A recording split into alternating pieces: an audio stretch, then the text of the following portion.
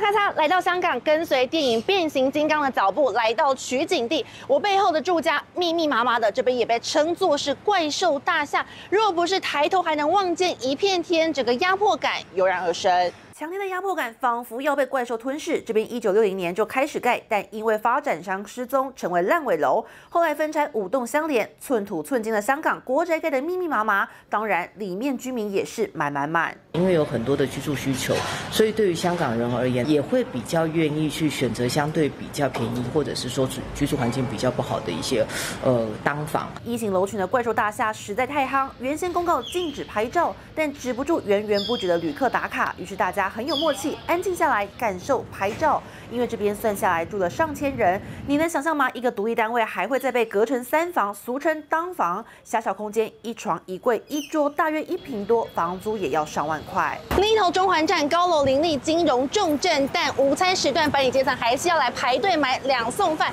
什么是两送饭呢？就是这样，像是两种配菜的饭盒。